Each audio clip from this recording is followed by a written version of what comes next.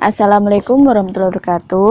Halo sahabat anggrek Ketemu lagi dengan channel Alsicit Untuk video kita kali ini Atau episode ke-6 ini Kita akan memberikan Perkembangan ya tentang Anggrek yang kemarin seperti biasa, sebelum lanjut ke videonya, jangan lupa subscribe bagi yang belum, dan tekan loncengnya agar tidak ketinggalan info perawatan anggrek berikutnya.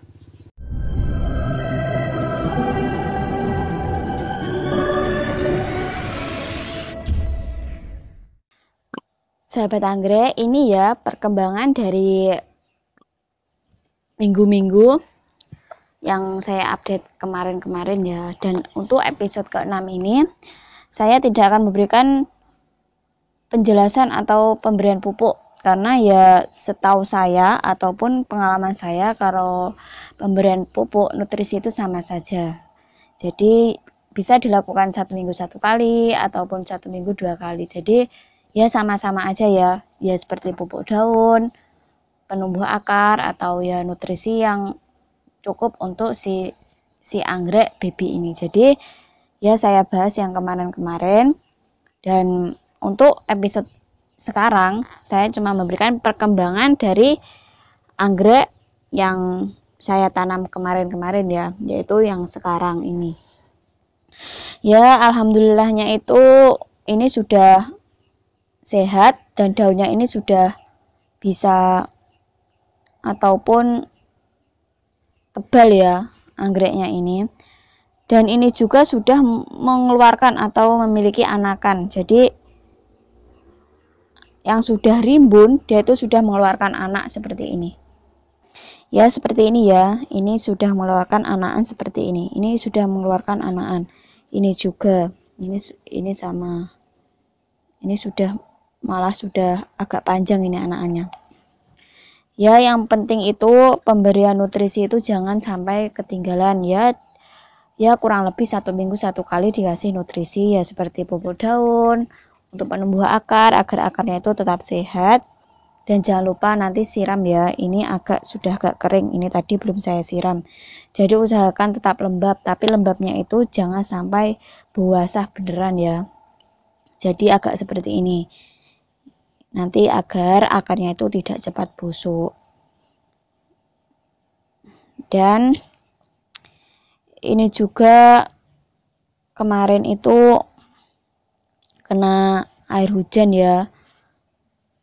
Pas ada angin itu kena air hujan jadi harus dikasih fungisida. Jadi fungisidanya itu jangan sampai ketinggalan karena agar anggrek ini tetap sehat. Jadi walaupun anggreknya di luar atau spesies atau apa ya tetap harus dikasih fungisida fungisidanya itu harus rutin ya jangan sampai satu minggu satu kali. Kalau bisa itu tiga hari satu kali itu harus dikasih fungisida karena air hujan itu sangatlah berbahaya buat si anggrek karena bawahnya sekali mengandung jamur. Nanti lama-lama akan mati ya anggreknya. Jadi sayang. Seperti halnya yang kecil ini walaupun kena cuma kena anginnya angin kan tetap membawa air hujan harus tetap dikasih fungisida karena ya kasihan ya sudah sehat seperti ini nanti ujung-ujungnya mati. Jadi sayang sekali.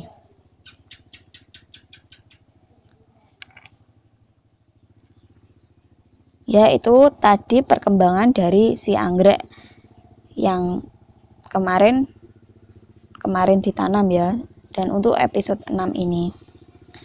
Dan untuk episode selanjutnya kita akan update nya itu satu bulan sekali ya karena ya perkembangan dari si anggrek itu sendiri kan dia juga lambat ya. Dan pemupukannya itu ya setahu saya cuma itu itu aja. Tidak ada tidak ada yang begitu istimewa cuma ada penumbuh akar ada yang pupuk daun begitu-begitu aja ya. Yang penting itu butuh ketelatenan dalam merawat si anggrek dan butuh kasih sayang juga karena nanti kita kalau stres anggreknya tidak dirawat ya ujung-ujungnya akan mati. Jadi butuh ke kesabaran juga. Maka dari itu ya nanti update nya itu satu bulan satu kali. Jadi nanti kita akan mengupdate perkembangan satu bulan itu bagaimana tingginya sudah seberapa perkembangan daunnya itu seberapa. Karena ini tuh jenis keritingan ya nanti daunnya itu daunnya itu juga tidak tidak akan bulat atau gimana? Karena saya juga belum tahu si anggrek ini. Jadi nanti kita akan ukur ya panjangnya itu sudah seberapa anaknya itu sudah gedenya seberapa. Jadi tetap ditunggu dalam episode yang ketujuh akan tayang satu bulan lagi. Jadi yang belum subscribe tolong di subscribe ya agar tidak ketinggalan channel youtube saya. Dan sahabat anggrek yang sudah subscribe ke channel saya maupun yang belum saya ingatkan lagi ya untuk episode tentang pertumbuhan anggrek ini yang saya kasih episode-episode ini ini kan sudah episode ke-6 jadi yang untuk episode ke-7 nanti update-nya satu bulan sekali ya.